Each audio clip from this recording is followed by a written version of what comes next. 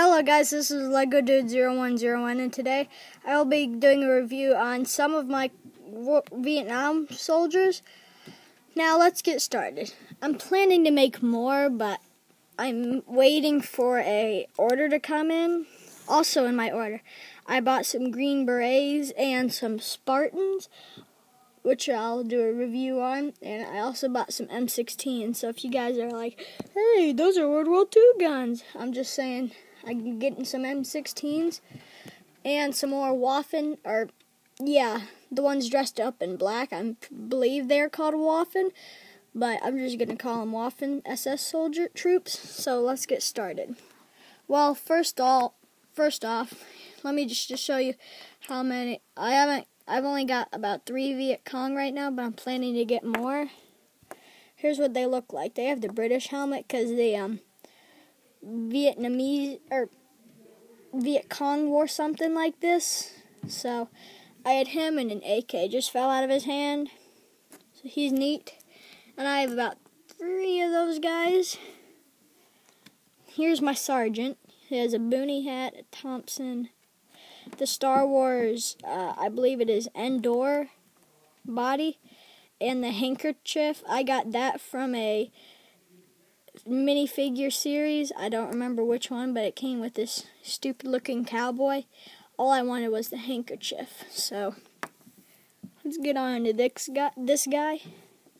He is a prototype M60. Now that's a very nice gun, and he's he his stomach. It's just basically the Prince of Persia one.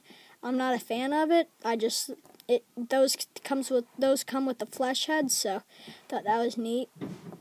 This guy's pretty cool. Here's this guy. Again, he is the Star Wars Endor thing, and he's pretty much the same. All the faces you see that have the straps and the camo, those are decals. So if you're wondering where I get those faces, actually get the decals from Brickmania. So if you're wondering where I get them, Brickmania is where you get them.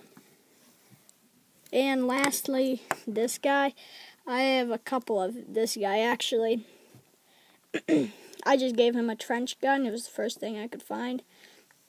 As I said, I'm getting M16s. So here's what. Here's let's just go. He has the Indiana Jones torso thing. I'm not a big fan. I would like to decal it. Just haven't had. Just need more decals actually. He has this Cobi thing. Now, Cobi, I would not. It's a pretty good building thing, but I just have a problem with the people. I don't really like the people. I get it for the gear. It's pretty cool gear. You can use it for modern um, Vietnam and World War II. That's pretty nice. Also, if you guys are wondering what Spartans I'm getting, sorry, my board fell. I'm getting the black two black ones, two Master Chiefs, and two dark gray ones. I thought those were really neat. So I'll do a review on all of those when they come here. And please comment, rate, and subscribe. Can also please guys help me get at least 100 subscribe 100 to 1000 subscribers and I will do a special video probably showing deleted scenes of me messing up it's always funny. So, please comment, rate, subscribe. Again, bye.